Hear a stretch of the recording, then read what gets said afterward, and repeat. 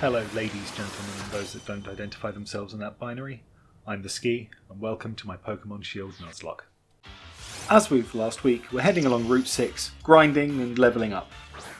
And I came across this Dugtrio while Barkley was at the head of my party. Barkley used Intimidate, brilliant, take the Dugtrio's attack down. Unfortunately, Barkley is not the Pokemon to take on a Dugtrio. And even more unfortunately, Dugtrio had Arena Trap. The only thing I could do was run. Unfortunately, Arena Trap prevents run.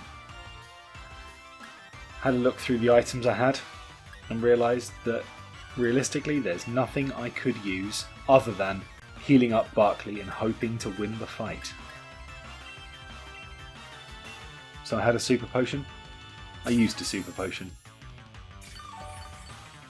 Barkley almost at level 30, back up to full hit points. Dugtrio used Bulldoze, which didn't destroy Barkley.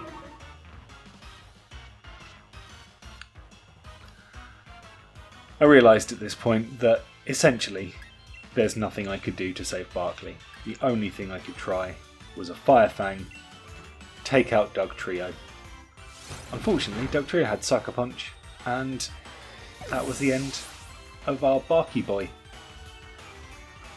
Barkley had done so well for us, led us through the grass gym at Turffield, and now had just been beaten by an arena trap Dugtrio. Nothing we could really do. Obviously, I brought out Korax, you know, flying type, ready to just attack this ground type and take it down. Dugtrio used Sandstorm, not an issue for us really. If we'd started with Sandstorm, we might have done enough damage to take it out in a couple of turns, but that's the breaks. Unfortunately, in Nuzlocke, you will sometimes just lose a Pokemon to bad luck.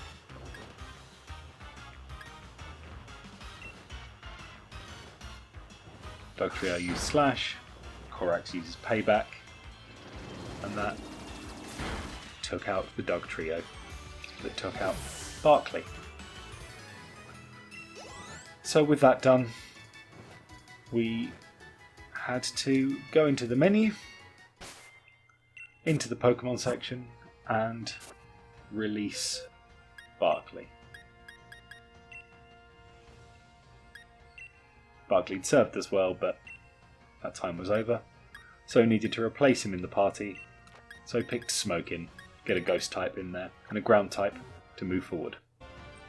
So after the um, chilling loss of Barkley, went to Stow on side, and there's a last trainer on the way to get there. Artist Duncan. Artist Duncan had a Koffing, and so Bellerophon, who was at the head of our party after the loss of Barkley, uh, was there to use it. Koffing has neutralizing gas, which means any abilities that you normally use don't work. And that's pretty useful for us when, you know, there's something we don't want, especially with Klutz, say, on Rupert. But considering that we're not fighting double battles, it's not as useful as it could be. The Koffing decided to blow itself up to attack us and uh, did a bit of damage, but not enough to really do, do anything wrong with Bellerophon. So, staying in with Bellerophon to begin with. Bellerophon actually healing up because leftovers are wonderful. Leftovers work quite well in multiplayer, but in single player it's free healing, so it stops you having to go back to the Pokemon Center. It's all good. But then yes, Sudowoodo was brought out.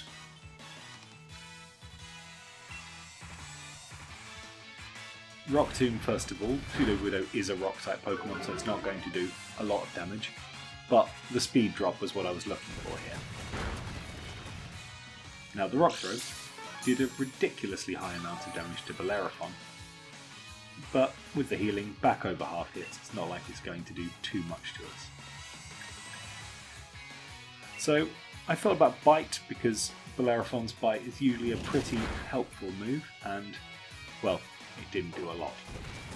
Rock Slide came in and more than a quarter of our hits, it wasn't worth us, you know, keeping Bellerophon in. So it was time to switch. Rupert was paralysed, but even at the slow speed, high hit points, high damage, Rupert was the choice I was going for.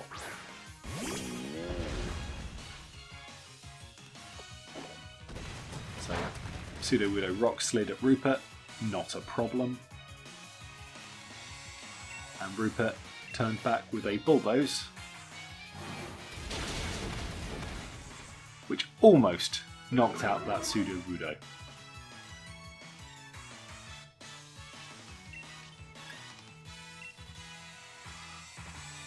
The slam came back.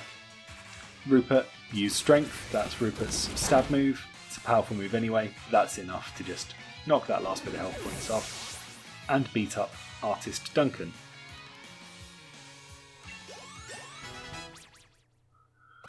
Rupert becomes level 33. Artist Duncan is defeated, and uh, we're able to progress and get into the Pokemon Center at Stow-on-Side to heal up. See Stow-on-Side as we enter it. Nice view of the town. See, there's a marketplace. We can't buy things, but you know, it's nice to know there's a marketplace. And Hop standing there, ready to challenge us when we go in.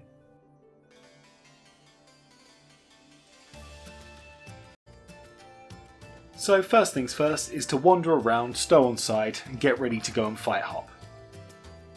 Obviously, get into the Pokemon Center and heal up. If we're going to be fighting Hop, we know he's got a varied team, so we're going to need everyone at peak fitness, especially the newbies drafted into the team after our losses on that route.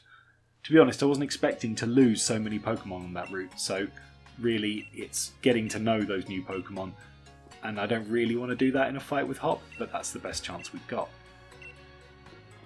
So, as always, wander around, talk to people. They might give you free things. In this case, fossilized drakes. Unfortunately, we've already captured a Pokemon on Route 6, so we're not going to be able to get ourselves a nice um, new shiny fossil Pokemon, because that would count as our free one, but we already captured something. It's a shame, but what can you do, eh? Walk around, see all these nice people, this Maractus jumping around, running a stall, showing that Pokemon clearly have the capacity to understand currency, which is mind boggling, really. Still, the nice thing about Stow-on-Side is there is little back alleys and things to climb up. They've made a sort of real 3D, well, they've made use of the 3D that they've got. Even if there's not a lot going on, it's quite nice that they've thought about it and added that, and hopefully the series will have a bit more of that going forward. There's a trade of a Maractus for an Impidimp, I don't have a Maractus, so there's no, you know, no way of doing that. And also, there's no reason to, as Impidimp are found in the next route. And in fact, um, probably going to grab one of those before the next gym battle, just so we've got a bit more of a choice with what we're moving forward. Still, climbing back down, actually being very bad at climbing down.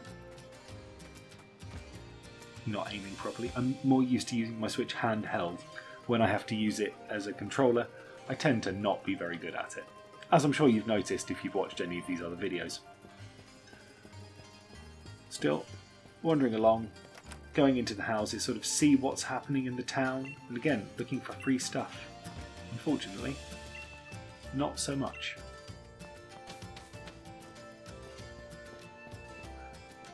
There's quite a few items sitting around, X special attacks don't help us because we can't use them in trainer battles, but it's fine.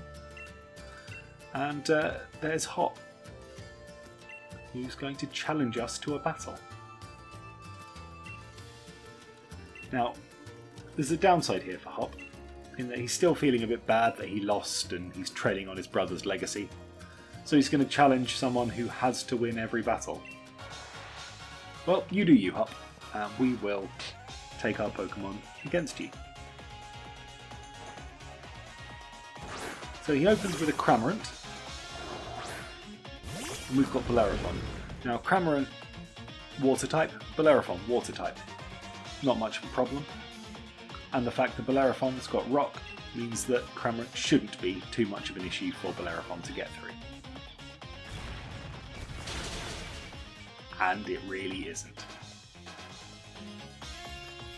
Hop understands why we went with the super effective. He knows how to do these battles. He's, you know, been learning and getting better. It's just that his opening gambit and mine Mine was just luckier and better. If I'd have put out, you know, a fire type first, that would have been a problem. Get some level ups, which is always nice. Got my Skorupi there to level 30. It wants to learn Pin Missile. Pin Missile's not the worst move, not the best, but with Bug Bite doing 60 points of damage and Pin Missile doing 25 multiple times, it's a trade off. So we decided to go with Pin Missile because the multiple hits always useful. And next, Hop sends out a Silicobra. See, we saw a Silicobra earlier, we've not seen one since. But as we're here, it looks ground type. There's only one thing to do, and that is to water gun it. And then we remember that uh, water gun from Bellerophon, not the best move. Bellerophon is a um, is a is a physical attacking Pokemon in general, and water is a special water gun is a special attack. In fact, water is a very special surrounded um, move set, so the physical water types do have a bit of a problem. Thankfully, the second hit did a bit more damage. There was a protect there earlier because when the AI digs against you, protect always works. Yeah, so Hop goes for uh, healing up the Silicobra, getting it into that, you know, back up to near full. So we go for another water gun. We can keep doing this. Um, we might take it out in two turns, might take it out in three. Not that much of a problem.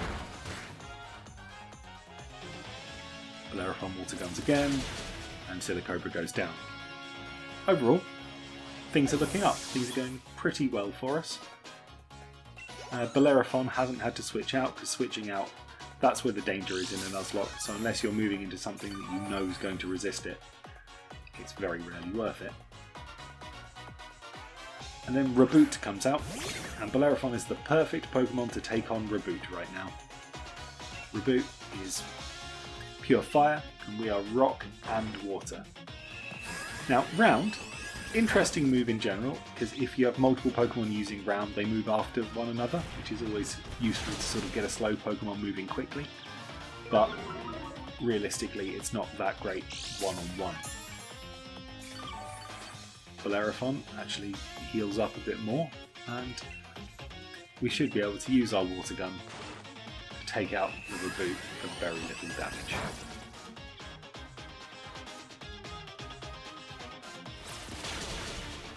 So with three Pokemon down, Hop is in a pretty tight spot and we're sitting pretty with a full party. Even get a level up for Mulder we've not used in a while. Do we want Mulder to learn Mirror Coat? Always have a look and see what it will do. And it's counter but for special. Not really worth it for us. We've got a psychic attacking move, a bug attacking move, and the screens. That's where Molder is. Mold, that's what Molder's build is for the rest of the game, really. I mean, Hop at least is aware there's not a lot he can do to win, so he puts out a Toxel. Level 29 Toxel. Not evolved into Toxtricity. It being an electric type, we use Rock Tomb, And that's the end of that. Doesn't push Korax up to um, the next level, but we're close enough. So we've done quite a bit of work, and we should be ready to do a little bit more, a bit of grinding, and getting ourselves ready to go to the gym relatively soon. So Hop's still learning how to do switching in and switching out. Didn't use any against us, which would have helped him, but well, maybe not so much. Bellerophon was apparently the counter to the entire team, which is a bit of a shame. Opal appears again and tells us that, you know, they're thinking about Hop and looking forward to us uh, coming to the gym.